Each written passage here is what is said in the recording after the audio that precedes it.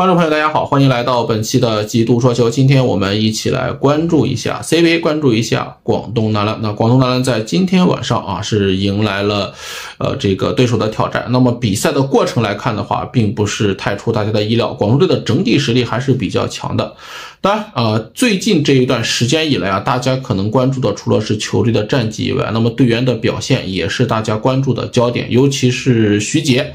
呃，虽然说是一名零零后的球员，但是在 CBA 已经征战了五个赛季啊，真的是属于一名老将了。而且跟随球队拿到两个 CBA 的总冠军，可以说是荣誉满身。在杜峰执教国家队期间，徐杰更是实现了职业生涯的突破，成为了中国男篮比较固定的国家队的后卫。这两年也跟不少的世界顶级强队有过交手，比如说在去年的奥运会落选赛上，啊，他就曾经跟加拿大、跟希腊这样的世界顶级强队顶级后卫进行过对。对抗，同时在亚呃世界杯亚预赛的比赛当中，两回合与澳大利亚的比赛里边啊，徐杰也都有交手啊，包括在亚洲杯的比赛，面对有着亚洲第一后卫的阿拉基，他都有过碰撞。能够看得出来，经过这两年国际大赛的历练，徐杰在场上的这种稳定性是越来越强了。过往其实大家对于徐杰的定位仅仅是一个后卫线上的蓝领球员，因为。哪怕是在广东，在俱乐部队中啊，像赵睿、像胡明轩，包括外援布鲁克斯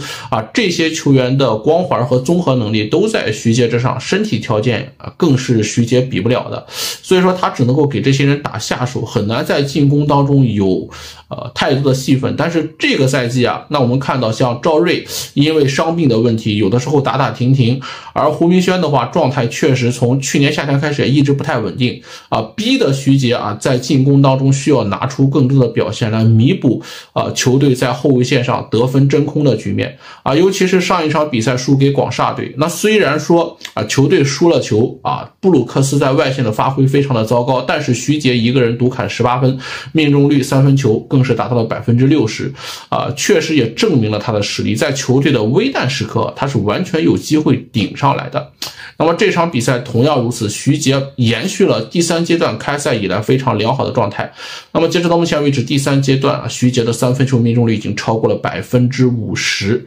所以说，在进攻当中，他的效率依然是非常非常高的。另外一点，我们看到他的防守，他的组织也依然在线。我觉得啊，在第三阶段打到现在为止，徐杰应该算是广东队国内球员里边表现最好的一个，哪怕是大哥易建联的发挥都没有他这么的稳定。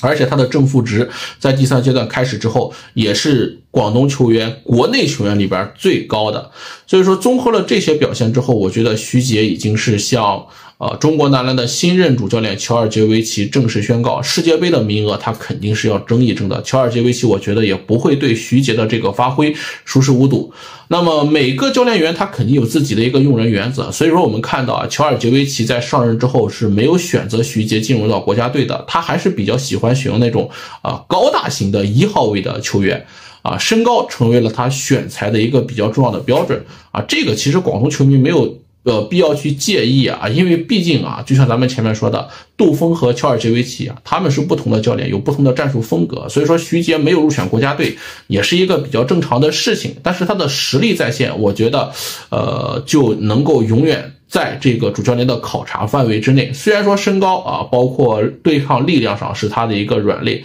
但是如果他持续这样的表现的话，那我觉得，哪怕是说身高啊力量不够的话，乔尔基维奇也会将他选入到世界杯的比赛阵容里边啊。那徐杰如果能够代表中国男篮参加世界杯的话，对于他的职业生涯来说，将会是又一次呃突飞式的突破吧。